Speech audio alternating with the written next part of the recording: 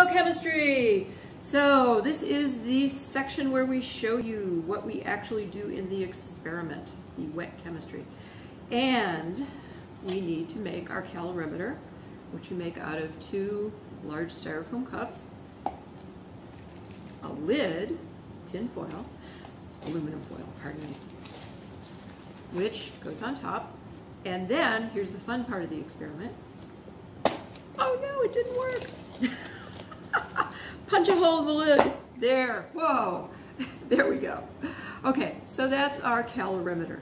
And we actually need two thermometers because for the calibration, we're going to be mixing 50 milliliters, 50.00 milliliters of room temperature water with 50.00 milliliters of water that we have just poured off of ice.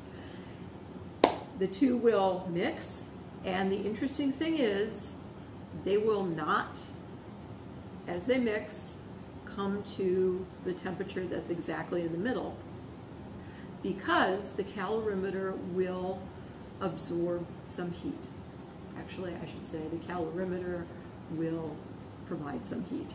So, that, that said, let us first pour in 50 milliliters of room temperature water for this calibration.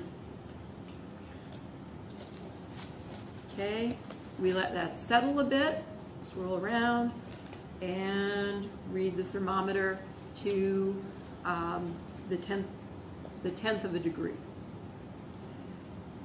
The ice water, I have actually just poured off the water from a slurry of ice and water. We don't want any wet ice in there because that would absorb some heat as it melts.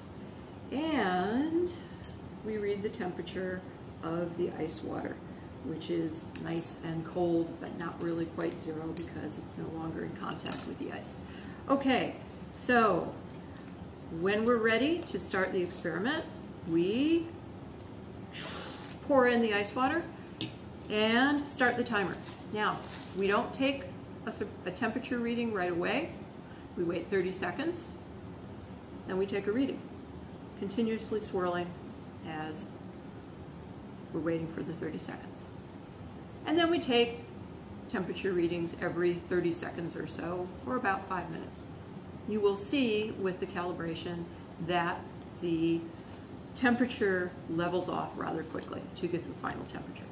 Okay, so that was calibration, and since it's just water, we toss it down the drain.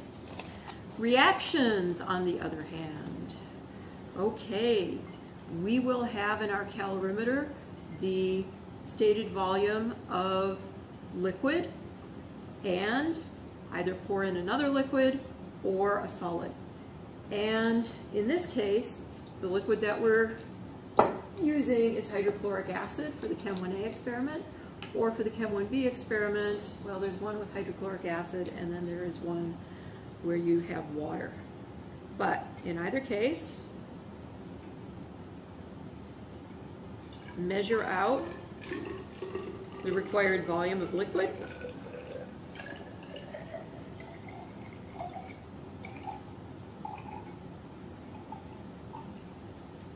And pour this into the calorimeter. Okay. Swirl a bit, let it equilibrate.